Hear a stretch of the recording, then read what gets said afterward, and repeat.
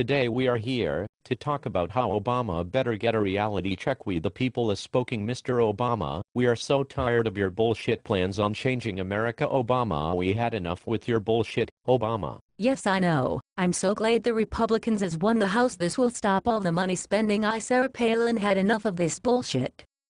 Obama, why can't you grow up and act like the president you should be, instead of this little boy trapped in the nonsense world that you are so trapped in? Isn't time for a change America? Isn't it time to stop these libtards from destroying this great nation? Yes, we the people can make a change. We can stop all this nonsense money spending. It will happen. Obama better get with the program, or we will lose his spot in office in the 2012 election. I know we the Tea Party didn't win all of our spots in the Senate race.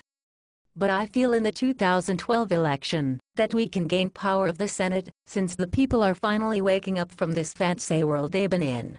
Have you noticed that Obama poll has gone down? What Obama doesn't realize is that all this money spending isn't doing us no damn good. Yes, I do have to agree Larry. So, Sarah is the rumor true about you trying to run in the 2012 election? Well Larry, I have thought about it.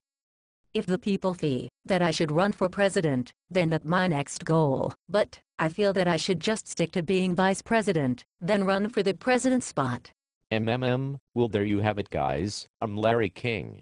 If you have any questions or thought about Obama plan for America future, leave your comments under the video and I'm sure I can answer them later on. I would like to thank you Sarah Palin for coming to the show tonight. Well I'm glad to be on here to Larry. Thanks for having me on the show. See you next time, I'm Larry King and good night America.